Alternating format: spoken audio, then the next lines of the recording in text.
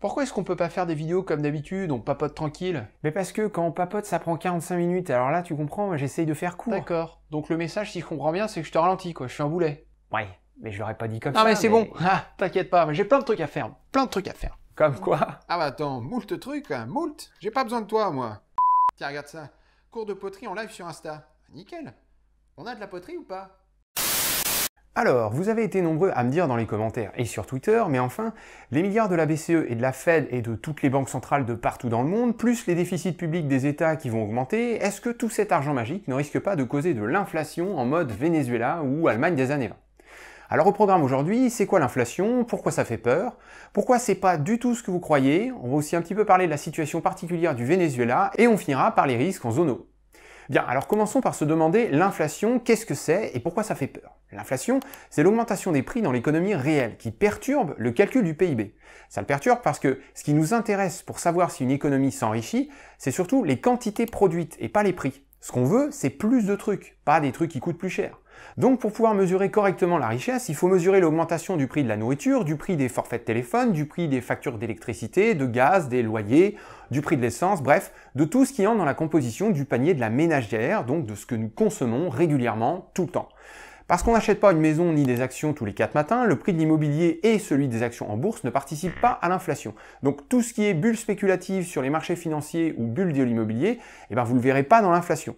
Enfin, pour l'immobilier, on peut le voir par le biais des loyers si jamais ils montent aussi vite que les prix, mais ce sera vachement dilué parce que les loyers ne pèsent que 6% dans l'indicateur de l'inflation. Donc en gros, si tous les prix devaient rester les mêmes, sauf les loyers qui devaient faire x2, eh ben, il n'y aurait que 6% d'inflation en France. Bien alors maintenant, pourquoi l'inflation fait peur? Eh bien parce qu'elle réduit la valeur de l'épargne.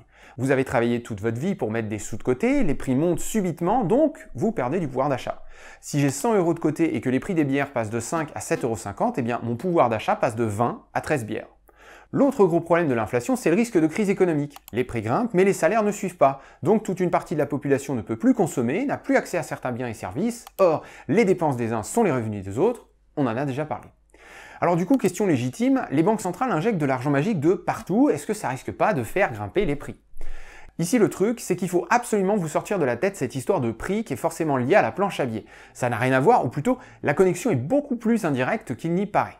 La quantité de monnaie dans l'économie en zone euro, c'est ça. Ce que la BCE a prévu d'injecter, les 750 milliards, c'est ça. Ça correspond à 8% du total. Or, 8%, c'est pile poil la quantité d'argent magique injectée en moyenne tous les ans dans la zone euro depuis 1996. Je reformule. Tous les ans depuis 1996, les banques de dépôt, via leur crédit aux entreprises, crédit à la consommation et crédit immobilier, injectent 8% d'argent magique en plus dans l'économie. Parce que, rappel, tous, je dis bien tous les crédits accordés par les banques de dépôt correspondent à de la monnaie magique. C'est de la création monétaire au même titre que ce que fait la BCE avec ses 750 milliards. Sauf que la BCE ne peut pas faire faillite même si elle crée de la monnaie un peu n'importe comment, tandis que les banques, elles, peuvent faire faillite si elles ne sont pas remboursées. Plus d'infos dans cette vidéo. Et aussi, si vous voulez comprendre pourquoi il y a forcément besoin d'argent magique pour faire grossir une économie, vous pouvez aller voir cette vidéo. Du coup, première déduction, la quantité de monnaie en zone euro grimpe de 8% en moyenne tous les ans depuis 25 ans. Ça fait que depuis le début de la zone euro, la quantité de monnaie a été multipliée par 6,7. Or, c'est quoi le niveau de l'inflation en zone euro? Eh ben, c'est du 1,7% par an seulement. Ou dit autrement, des prix multipliés par 1,5 au bout de 25 ans. Donc je répète, 6,7 fois plus d'argent magique dans les poches des gens, des entreprises et de l'État, pour des prix qui ne sont que 1,5 fois plus élevés. Conclusion, 1% d'argent magique en plus ne cause pas 1% d'inflation. D'ailleurs, l'argent magique n'a absolument aucune raison de systématiquement causer de l'inflation. Prenons le cas du Japon. Sur ce graphique, vous voyez l'évolution de la quantité de monnaie au Japon et l'évolution des prix. Je vous laisse constater que la planche à billets n'a absolument jamais arrêté de tourner et pourtant, ça n'empêche pas que les prix n'ont pas vraiment bougé. D'ailleurs, on n'y voit pas grand chose, voilà ce que ça donne si je mets les prix sur une échelle différente. Vous pouvez voir qu'entre 97 et 2013, les prix ont même carrément diminué. Alors, comment c'est possible? Eh bien, en fait, c'est assez simple. Il ne faut pas confondre planche à billets et demande. Vous connaissez tous la loi de l'offre et de la demande. Si l'offre est plus forte que la demande, les prix baissent pour rétablir l'équilibre. Si c'est la demande qui est plus forte que l'offre, les prix montent pour rétablir l'équilibre. Bien, rien que ça, c'est déjà très théorique. Si l'offre est supérieure à la demande, les entreprises constatent qu'elles ont des stocks invendus. Doivent-elles pour autant réduire leur prix? Pas, pas forcément. On pourrait tout simplement fermer une usine ou deux pour diminuer la production, mais ne pas toucher au prix. Et si c'est la demande qui est supérieure à l'offre, pourquoi faudrait-il augmenter forcément les prix? Si plus de gens veulent manger à McDo, est-ce que McDo va augmenter le prix de ses burgers pour autant? Peut-être que McDo va simplement recruter un peu plus de monde pour pouvoir servir tous les nouveaux clients. Peut-être aussi que McDo va rapidement ouvrir de nouveaux restaurants. Alors vous allez me dire, ok, mais pour faire ça, il faut du financement. Oui, mais pas besoin de monter les prix pour avoir du financement. On peut aller taper dans ses économies ou demander un crédit à la banque. Peut-être aussi que la meilleure décision stratégique, c'est de ne surtout pas monter les prix pour ne pas perdre de consommateurs vis-à-vis de la concurrence. Bref, cette histoire d'offre et de demande qui fait immédiatement bouger les prix est déjà une énorme simplification de la réalité. Bon, mais admettons que les prix montent si la demande est supérieure à l'offre.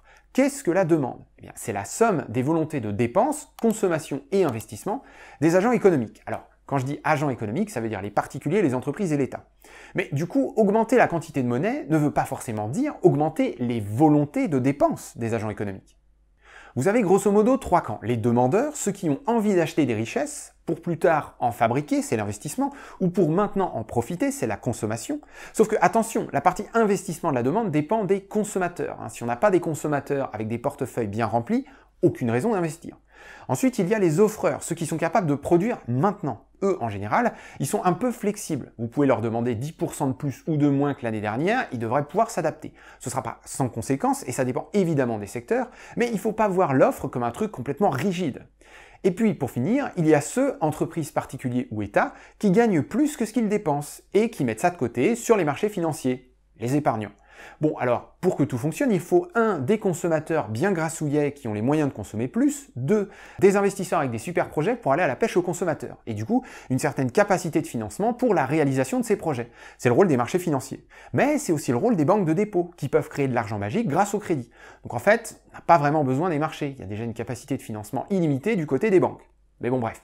3. Il ne faut pas que la demande soit trop au-dessus ou en dessous de ce qu'on a demandé l'année dernière. Sinon, le système de production n'arrivera pas à s'adapter. Et du coup, il y a de grandes chances de voir les prix bouger. Bon, alors du coup, au Japon, ils ont pris une crise financière dans la tronche dans les années 90, qui a fait que les portefeuilles des consommateurs ont perdu de leur gras, chômage et compagnie. Pareil chez nous, on a pris une crise dans la tronche en 2008 et en 2010. Et comment est-ce qu'on a répondu à ça? Eh bien, on a rempli les marchés financiers ras la gueule d'argent magique, c'est le quantitative easing. Sauf que ça n'a pas du tout agi sur la demande, parce que le problème ne vient pas de la capacité de financement de projet, le problème vient des consommateurs. Il faut le plus possible de consommateurs grassouillés du portefeuille pour que les entreprises aient envie d'aller à la pêche. Et pour ça, il faudrait soit filer aux plus pauvres des cartes de crédit pour qu'ils aient un accès direct à la planche à billets des banques, c'est la méthode américaine, ou alors il faudrait monter les salaires, ou alors il faudrait leur donner directement des sous sur leur compte en banque. C'est ce qu'on appelle le quantitative easing for people. Bon, il y a plein de solutions techniques différentes, plus ou moins souhaitables, plus ou moins en ligne avec les idées politiques de chacun, plus ou moins en accord avec les règles déjà en place. Toujours est-il que mettre plein d'argent magique sur les marchés financiers n'a aucune chance d'impacter les prix si le blocage ne vient pas du financement de projets. C'est pour ça qu'il n'y a pas eu d'inflation ni en Europe ni au Japon, alors même que la planche à billets des banques centrales était en mode no limite. Et si vous vous demandez pourquoi on ne comprend pas ça, eh je vous laisse aller voir cette vidéo. Mais ça, c'était avant le Covid. Alors, qu'en est-il maintenant? Le problème actuel est très différent. Aujourd'hui, non seulement ceux qui sont capables de produire ne le peuvent plus parce que les entreprises sont fermées, on a donc toute une partie de l'offre qui est bloquée, mais en plus, la demande est aussi réduite. Les entreprises n'investissent plus et les consommateurs, confinés chez eux, réduisent leurs dépenses. Vous avez donc des entreprises qui font faillite et des gens qui se retrouvent au chômage avec des revenus limités, donc une possibilité de consommer réduite. En parallèle, vous avez des épargnants qui possèdent des produits financiers dont la valeur est de plusieurs milliers de milliards, et le quantitative easing, c'est la banque centrale qui remplace une partie de ces produits financiers par de la vraie monnaie sonnante et trébuchante. Qu'est-ce que ça change? Ben, Les épargnants possèdent des produits financiers dont la valeur est de 750 milliards, et dans pas longtemps, eh ben, ils vont posséder à la place 750 milliards de monnaie. Tout ça n'a rien à voir avec la demande, ni même avec l'offre. Il y a déjà des milliers de milliards de monnaies sur les marchés financiers, prêts à financer à peu près n'importe quelle dépense. Bon, bah maintenant il va y avoir 750 milliards de plus. Alors on l'a déjà dit dans cette vidéo, ça permet de stabiliser les banques et de faire baisser les taux d'intérêt. Donc c'est pas inutile, mais ça n'a rien à voir avec l'inflation. En réalité, dans le contexte actuel, le risque d'inflation ne vient pas de la planche à billets, mais plutôt du manque de production, de la pénurie. En effet, parce que les chaînes d'approvisionnement sont partiellement rompues, parce que le commerce international ne fonctionne plus correctement, ou parce que les travailleurs sont malades, eh bien il est tout à fait possible que les capacités de production deviennent inférieures à la demande. Autrement dit, l'État se débrouille pour s'endetter et garantir à tout le monde un revenu suffisant pour acheter à manger, mais il n'y a pas assez à manger pour tout le monde. Et là, il faut trouver un moyen de rationner la population. Or, une des méthodes les plus simples et qui se met toute seule en place pour y arriver, c'est le rationnement en fonction de la taille du portefeuille de chacun, donc l'augmentation des prix. C'est exactement ce qui se passe au Venezuela. Le pays ne produit quasiment aucun bien qu'il consomme. En gros, à chaque fois que la population fait du shopping dans les supermarchés, dans les magasins de vêtements, dans les pharmacies, les produits sont presque tous systématiquement importés.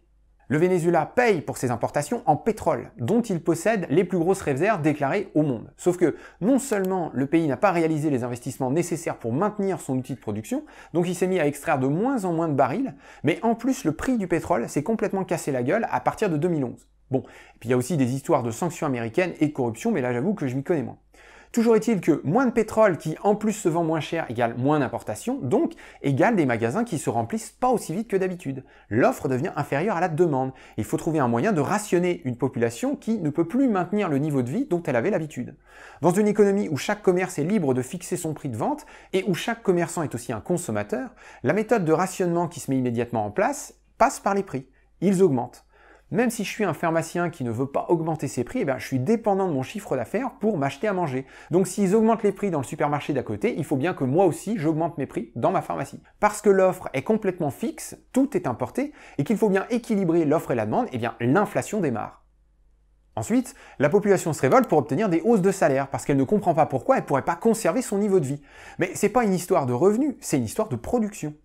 Le gouvernement et les entreprises acceptent d'augmenter les revenus, la planche à billets tourne, mais ça remplit pas les magasins pour autant. Le rationnement se met à nouveau en place et les prix montent encore davantage. Voilà comment on démarre le cycle infernal d'une inflation qui peut très vite déraper en hyperinflation. Mais ici, c'est pas la planche à billets qu'il faut blâmer, car elle intervient en dernier. Il y a d'abord un choc économique, des barils de pétrole pas assez nombreux et pas assez chers, qui réduit la quantité de denrées disponibles, puis il y a une hausse des prix, car c'est la méthode la plus évidente pour rationner la population, et enfin, il y a une réponse des autorités monétaires consistant à faire tourner la planche à billets, parce que quand les prix et les revenus augmentent, eh ben, il faut plus de monnaie pour que les échanges continuent. Mais attention, la situation d'hyperinflation au Venezuela est très particulière. Le pays manque de tout, ne produit quasiment rien sur son sol, son économie est entièrement dépendante d'une matière première dont le prix est fixé sur des marchés financiers ultra spéculatifs, bref, on est loin de la situation européenne. Cela dit, cet exemple, encore une fois extrême, illustre bien comment l'inflation peut venir de la pénurie. Pour le Venezuela, la pénurie vient de l'impossibilité de payer pour ses importations, mais pour nous, la pénurie pourrait venir, et attention, je mets du conditionnel, hein, il ne s'agit pas de paniquer non plus, pourrait venir donc d'un problème de production. Bon alors pour conclure, sortez-vous de la tête cette histoire de planche à billets qui se traduirait immédiatement par de l'inflation. Quand on donne de l'argent magique à ceux qui veulent épargner, c'est ce qu'on a fait avec le quantitative easing, et c'est ce qu'on est en train de faire maintenant, eh ben on se retrouve juste avec plein d'épargne, et c'est tout. S'il n'y a pas de hausse de la consommation ou de l'investissement, et attention quand je dis investissement, je veux dire du vrai investissement, hein, faire construire un bâtiment, acheter des ordis, acheter des licences de logiciels, recruter du monde, bref, des vrais trucs dans l'économie réelle, pas des achats d'occasion sur les marchés financiers ou sur celui de l'immobilier. Donc, s'il n'y a pas plus de consommation et d'investissement, et s'il n'y a pas plus ou moins de production, eh ben, il n'y a aucune raison de voir les prix bouger dans un sens ou dans l'autre. Du coup, la vraie menace à l'heure actuelle, ce serait plutôt une inflation partielle concernant certaines denrées dont on pourrait peut-être manquer. Mais quoi qu'il arrive, si cette inflation a lieu et si on se cantonne au quantitative easing, ça n'aura absolument rien à voir avec la planche à billets.